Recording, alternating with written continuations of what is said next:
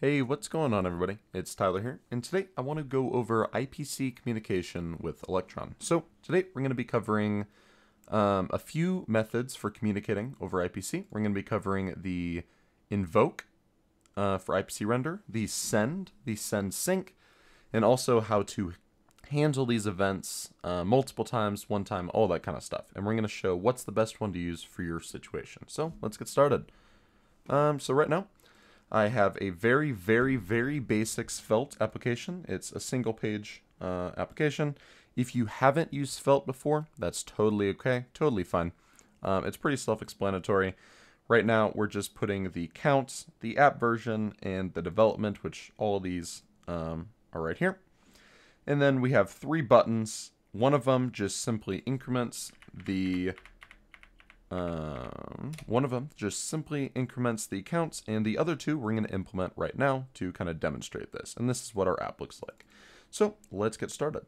One thing we want to know with Electron is how do we send messages between processes? So right now we have the renderer process right here.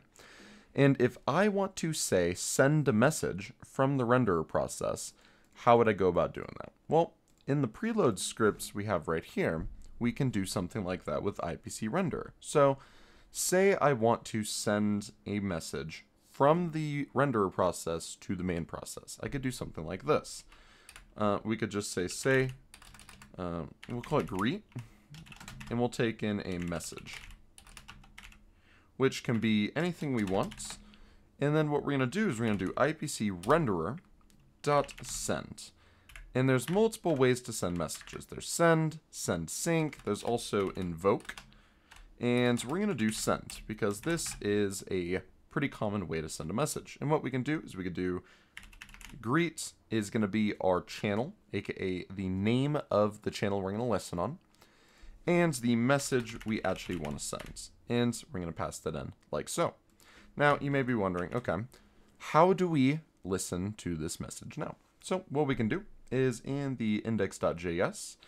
This is on the main process now, as you can see, IPC main. We can come over here and do IPC main dot on to listen for that same channel. We called it greet. So we can do greet.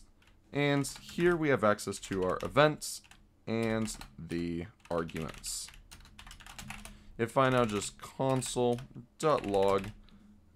args and we rerun this, what you'll see is if I also let me go into the app.svelte and just simply run uh, window dot greets dot greets and I could say hello from the renderer. And now if I run this, what you'll see is we should get down here hello from the renderer. So uh, we actually get an error. Window.greet is not a function. Window.greet is not a, oh, it's API, sorry. Uh, window dot API dot greet. There we go. Sorry about that. Okay. So we have our window dot API dot greet, which is going to call this greet function with our message and pass it in. And what you'll see is we get hello from the renderer in the main process now.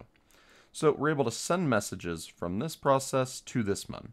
Now, what if we want to, say, return a value, which is very common. Say we want to make a call to the main process, do some system calls like scan the file system, something like that, and we want to return a list of files or something about the network, whatever.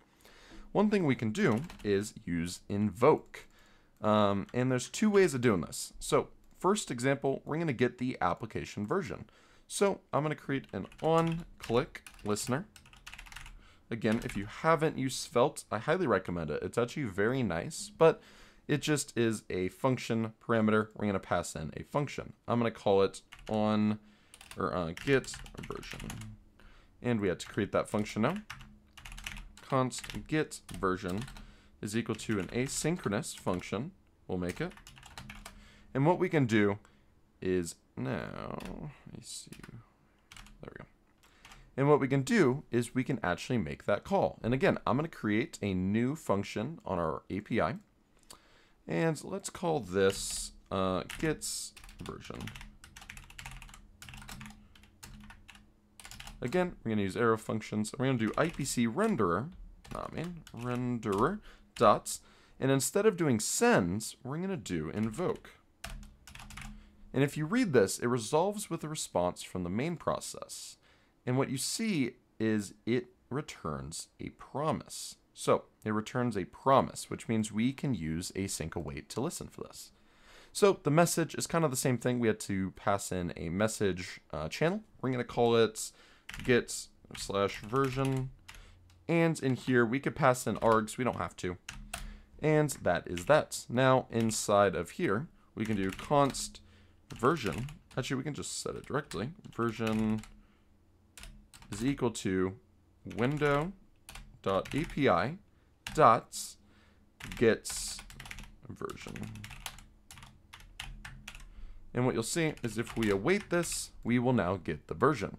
But we have to set that up in the uh, main process. So we actually have to listen for this now. And to listen for an event containing invoke, so you notice how we did invoke. To listen for that, we do handle. So handle allows us to listen for these types of events. So we can handle get slash version. And the reason we're calling it get version is because that's what we called it in our preload script. So get version, we have access to the same things. We have access to the events and the args. We're not going to use any of them, but we do have them right there. The reason I'm putting asynchronous here is because it expects a return value. For example, if I return the value of 1 and I rerun this function, so what we're going to do is start it up, and if we click this uh, get version, what you'll see is we will now put 1 in here. So we click get version, and we get app version is 1. And that's not very exciting, but that is what it does. It returns a value. So we're returning a value through a promise. If we don't use a wait, for example, this will not work the way we expect it to, because this is a promise. So if I run this one last time, get version, we get object promise. And that's obviously not what we want. We want to await this. Now, the reason I put async here is because say this takes a while. We're going to get the version, but say we want to say wait like uh, 10 milliseconds, you know? Sleep, we'll sleep for four seconds. And we're going to do await sleep four seconds. And then we're going to return app.get version. Now this is totally unnecessary, but it's to show a point that this is asynchronous. And what this means is this will not block our thread. In the render process, um, this won't, see how we can click get version and then increment stuff and it's incrementing while this is loading? And there it is. We're able to click it and increment this all at the same time, and it won't mess that up. Now, if we want to send a message synchronously, which I don't recommend, um, there's very few use cases for this, we can still do that. So we can do const, down here, we'll have a is development function. So we'll call it const is dev, and this will take, go. So this const is development function. What we'll do is we'll say dev is equal to window.api.isDev. And this isn't a function that we haven't created, but let's go ahead and create that. And so this is going to be called isDev. Is going to be a function that does this. IPC render.send sync. Now, Send sync does exactly what it sounds. It sends a synchronous message from the renderer process to the main process, which means it blocks this process's execution. So we can do something like sync, uh, or we can just say git um, slash sync slash dev. We'll call it that. That's why let's see. There we go. And again, we could pass in arguments. I'm not going to, but we could.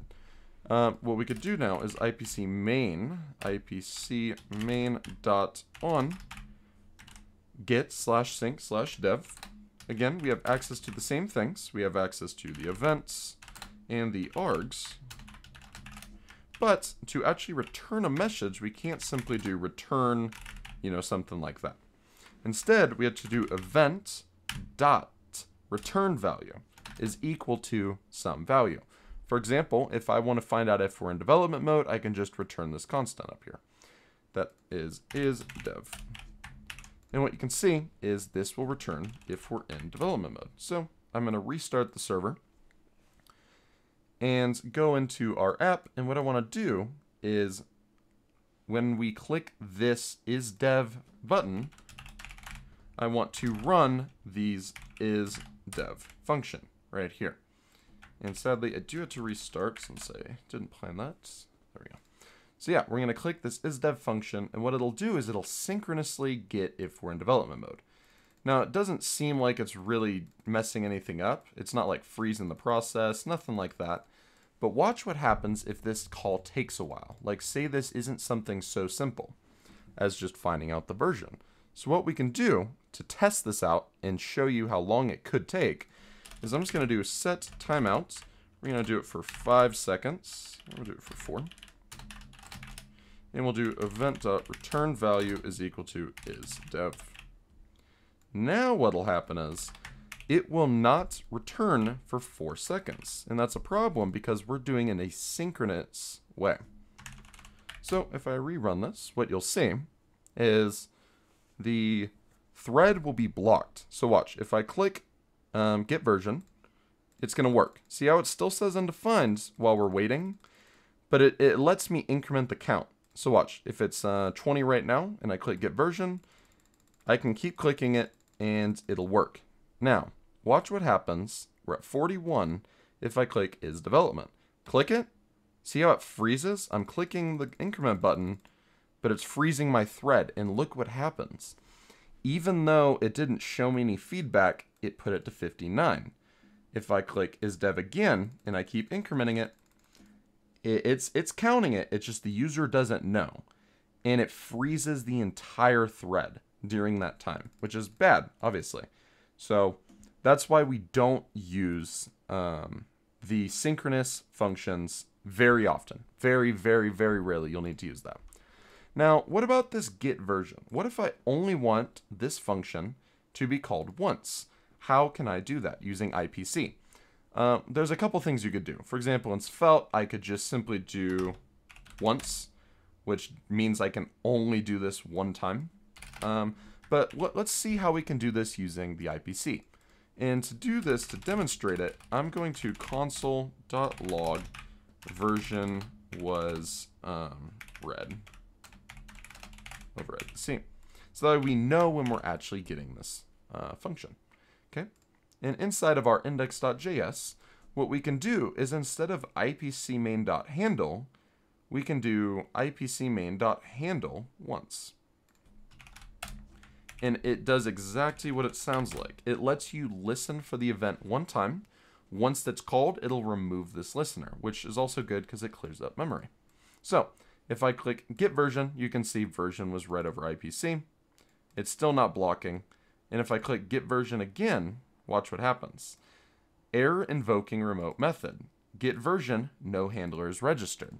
Which is why that alongside not calling it again, obviously, is really useful. For example, I can now do this. There we go. Add a once flag onto that.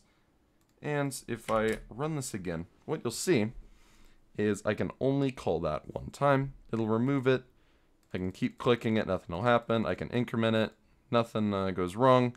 And I can do the same thing with this, but it's still synchronous. So if you found this video useful, please like, comment, subscribe, and uh, I'll see you guys in the next one. Peace.